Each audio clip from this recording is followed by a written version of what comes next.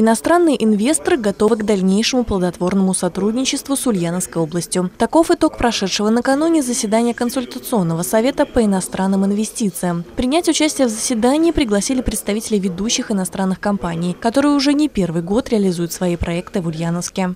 Нам не только удается выполнить все взятые на себя социальные обязательства, но и создать дополнительные территории опережающего развития. Все это результат нашей совместной работы. За последние 10 лет объем производства промышленной продукции в регионе ни разу не опускался ниже 100%. При этом специалисты наблюдают рост. За три года региональная казна выросла в полтора раза по объему собственных доходов. Мы можем и видеть устойчивый рост инвестиций в основной капитал. Прошлый год мы закончили с реалией, с, так скажем, а, рекордной суммой инвестиций в экономику Ульяновской области, которая превысила 90 миллиардов рублей. А в общем, за последние 10 лет э, инвестиции, ежегодные инвестиции в экономику выросли более чем в 7 раз. И большая часть инвестиций как раз и формируется иностранными компаниями. Сейчас на сопровождении региональной корпорации развития находится свыше 40 масштабных инвестпроектов. Треть из них – иностранные компании. В совокупности реализация этих проектов даст возможность создать больше 6 тысяч рабочих мест.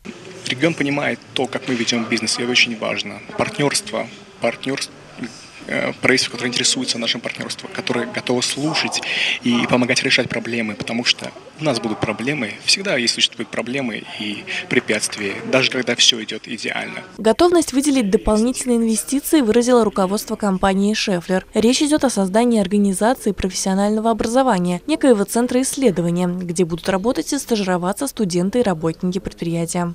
Мы также хотим предложить вам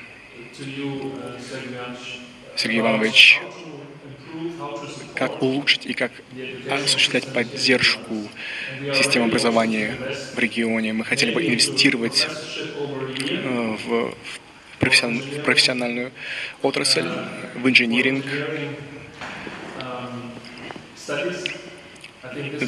исследования, я думаю, это то, что требует внимания. Губернатор поблагодарил гостей за участие и отметил, что сотрудничество будет продолжаться. Кстати, сегодня правительство Ульяновской области планирует подписать еще одно инвестоглашение. Речь идет о строительстве конструкторского технологического центра по обработке станков в портовой экономической зоне. Дарья Судрева, новости Ульяновской правды.